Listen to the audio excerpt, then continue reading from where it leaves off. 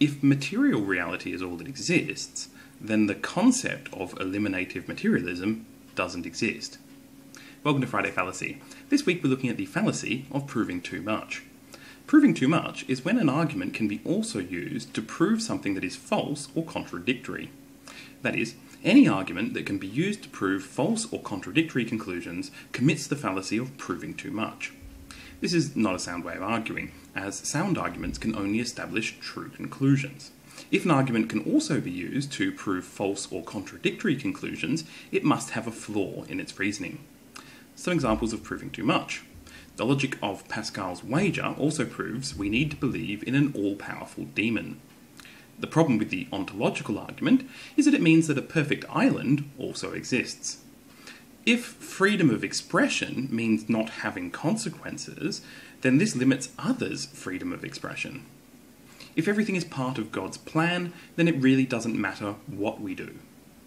Not all arguments that seem to lead to absurd conclusions are proving too much.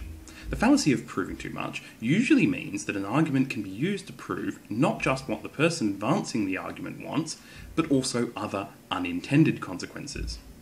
But this is only an indication of a fallacy if these unintended conclusions are false or contradictory and not just absurd. For example, presuppositionalists allege that a naturalistic worldview leads to the absurd conclusion that we cannot account for logic. But even if this was true, it would not refute naturalism, but rather it could also be just an argument that logic itself cannot be accounted for. Similarly, the argument that gay marriage should be banned because it would lead to legalizing polyamory rests on the faulty assumption that polyamory is undesirable. There are several forms of proving too much. One form is an argument that leads to multiple contradictory conclusions. Pascal's wager is a good example of this. If it successfully proves that we should believe in the existence of a benevolent God, then we can use the same logic to prove that we should also believe in the existence of a sadistic God.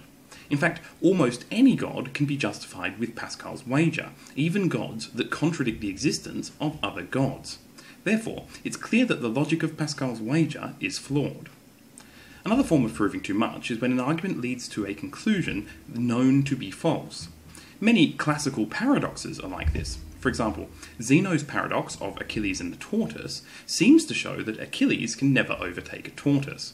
But it's obvious that this is false, so there must be an error in the reasoning somewhere. The fallacy of proving too much is not so much a single fallacy than a way of detecting other fallacies.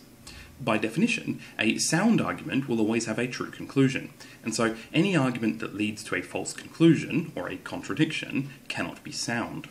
If its premises are true, then there must be a fallacy in the argument.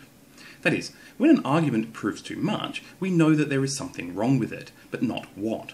And what is wrong with it is likely to be a more specific fallacy. In conclusion, proving too much is when an argument can be also be used to prove something that is false or contradictory. Until next time, keep your fallacies to yourself.